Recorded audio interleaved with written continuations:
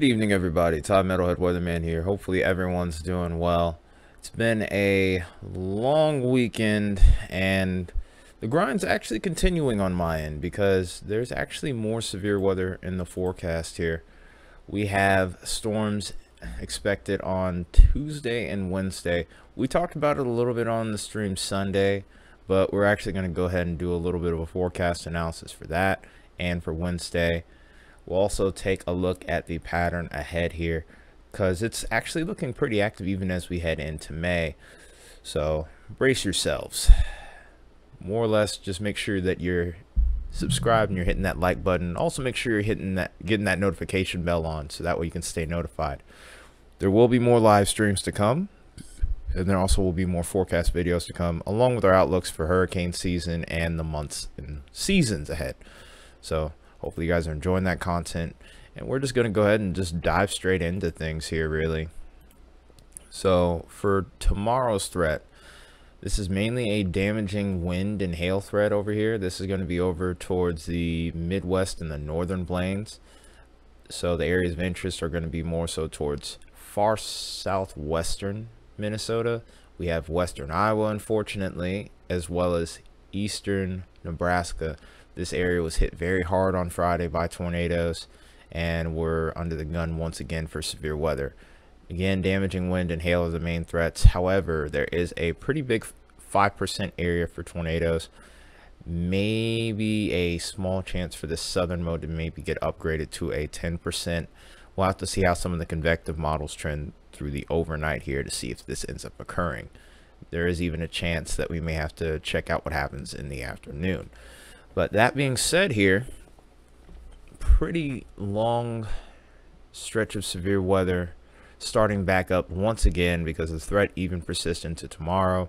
And we'll see an interesting setup with this as we go into the actual map analysis here with the uh, upper air maps in particular with this. It's going to be associated with the same storm system, but with this trough doing a little bit of a glancing blow, it's going to stir up some what's called short waves and these short waves are going to allow for new storms to fire in the southern sector here towards Kansas and Oklahoma.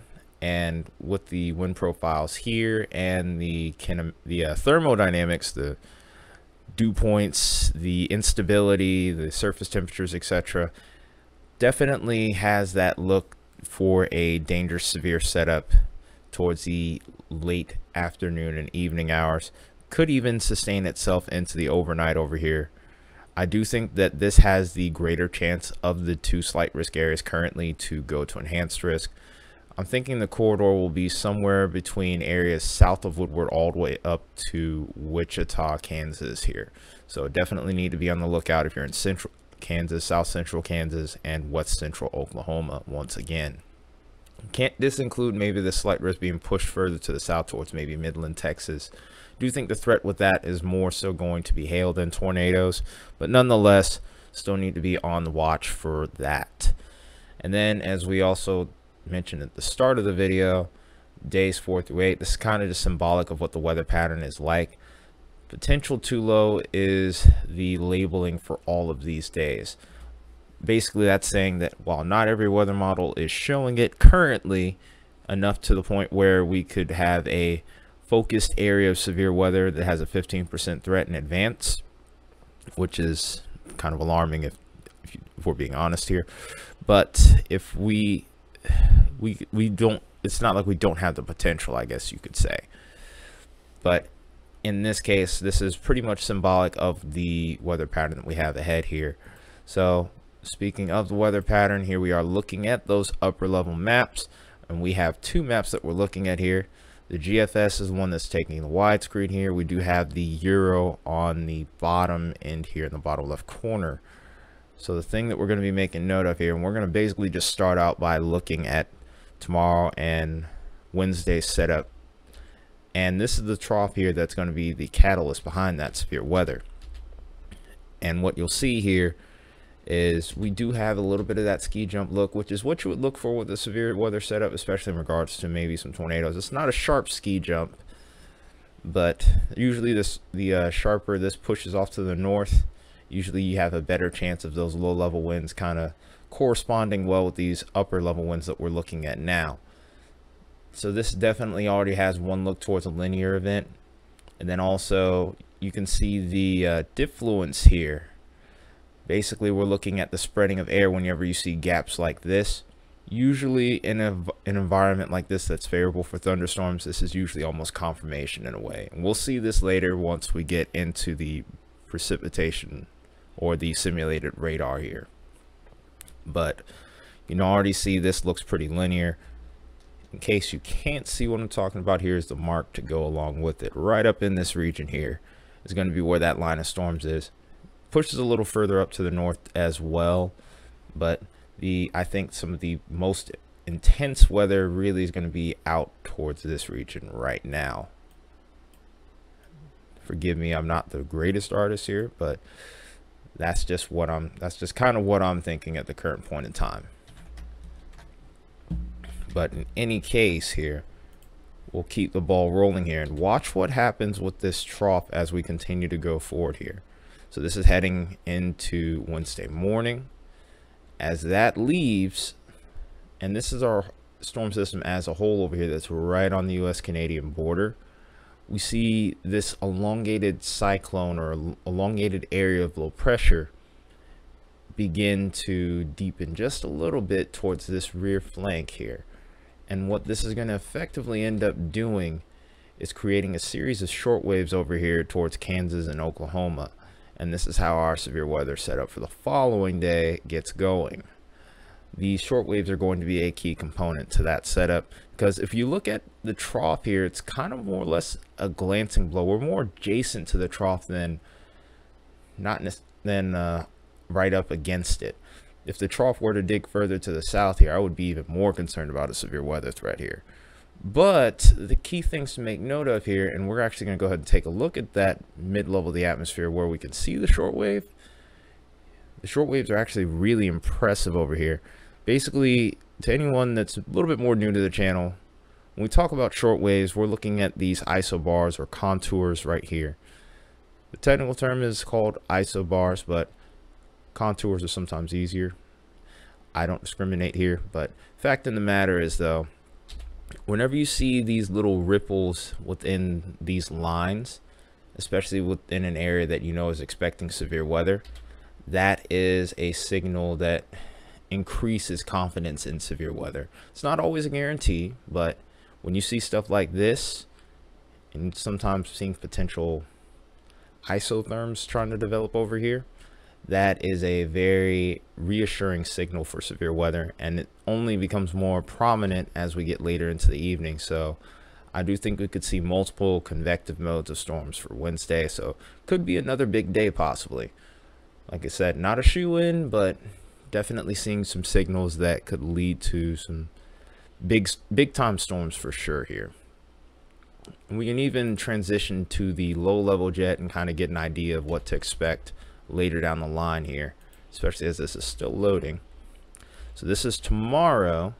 As, as I said before, not really going to be that kind of day where we're looking at a tornado, a, a heightened tornado threat. Like I said, I really think it's going to be more or less right on the line or south of the Nebraska line, more so towards Kansas where we get things going. And even then, that low level jet just isn't that strong. We're really going to be looking for damaging ones towards the upper levels of the, the atmosphere, kind of mixing down towards the surface. But as we go into Wednesday, however, different story.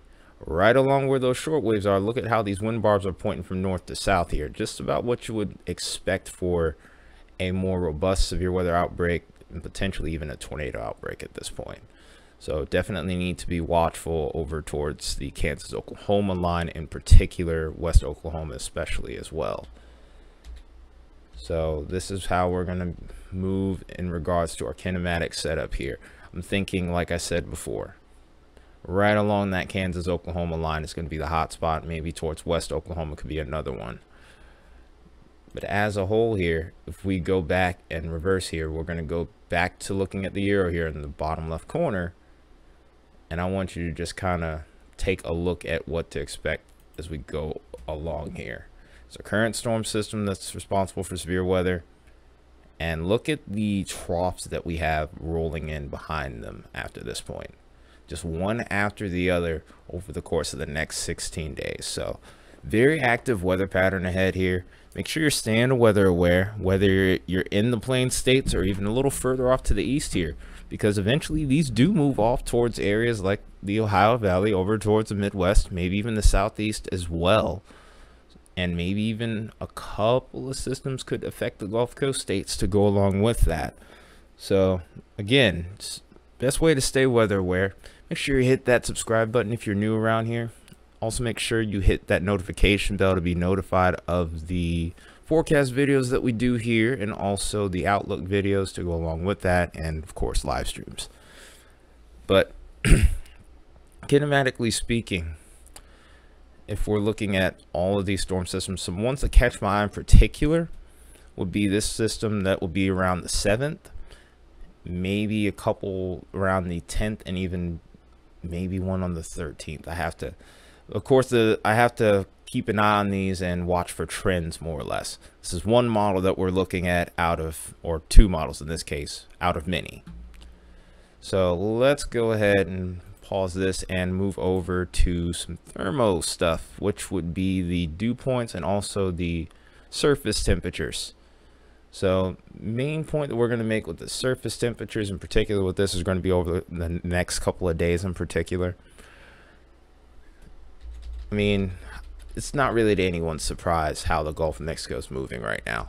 The Gulf of Mexico has been pretty much uninhibited over the last week or so.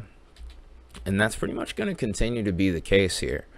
These storm systems don't have any adjacent high pressures around them that would suppress the Gulf or keep that moisture flowing offshore. So we're just going to continue to get abundant moisture pushed onshore and you can see it on the models pretty clearly.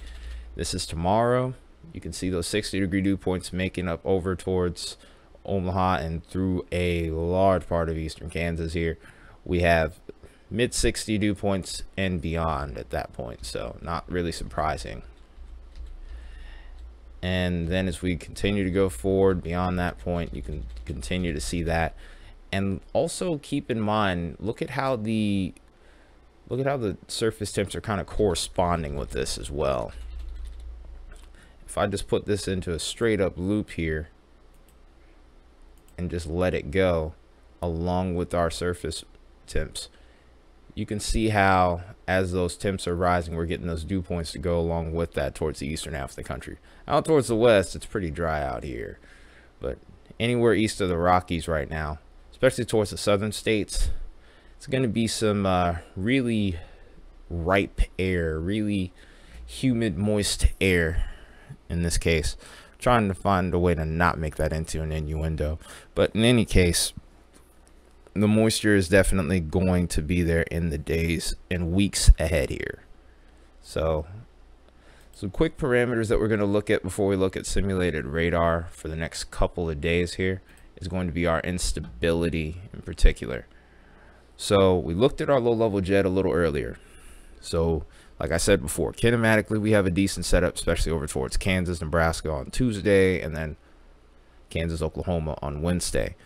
The instability is also very eye-catching as well as we get into the days ahead here. So this is just right around lunchtime here over towards, again, that Kansas-Nebraska line. We have 2,000 joules per kilogram of CAPE, exactly what you would need for severe weather, and maybe even a bit more beyond that. We have some excess that could go along with that. And we can continue to see that build as we head into the evening hours for tomorrow so plenty of energy available for these thunderstorms. And we have even more energy on Wednesday here, where we're getting to a very abundant area of 3,000, even 4,000 joules a kilogram per, for CAPE as we head into the early afternoon that day. So like I said, very, very impressive environment for severe storms. I do think, again, Wednesday will probably be the bigger day out of the two but we'll just have to kind of wait and see. That's always more of a nowcast situation, if you ask me. Last but not least, we'll finally go ahead and take a look at that simulated radar and some things that we will make note of, of course. Are going to be actually some snow over here to the Rockies as well, along with our severe storms. This is our setup for Tuesday again, looking mostly like a linear event. Could last a little bit into the late evening hours, but I don't expect this to be a long duration event. And then, of course, here is Oklahoma on Wednesday, as well as Kansas. Multiple storms possible. Severe weather looks likely at this point, I would say.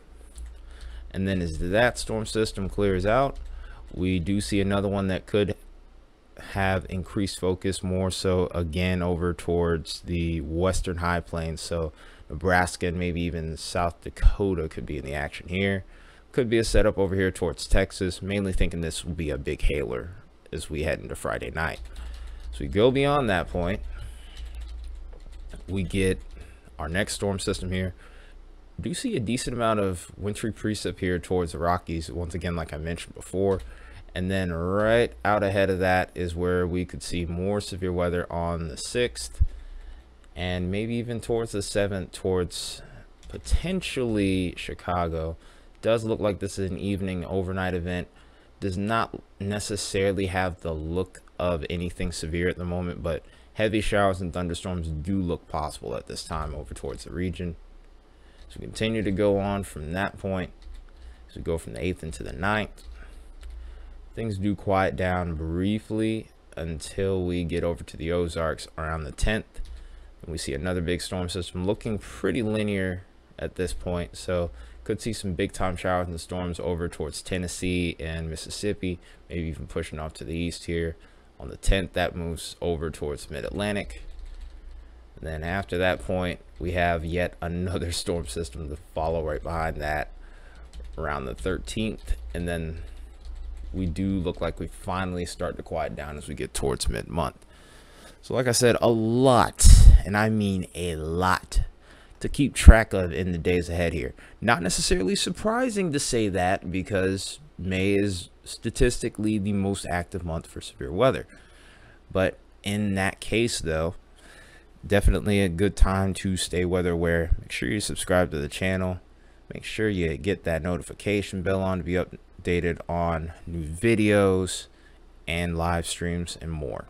But that being said, appreciate the support that I've gotten from this weekend stream, of course, as well. And we will be probably doing many more from that point. Till then, though, guys, have a good night. I'll likely see you in the morning. Till then, it's been Tai Metalhead Weatherman. Take care.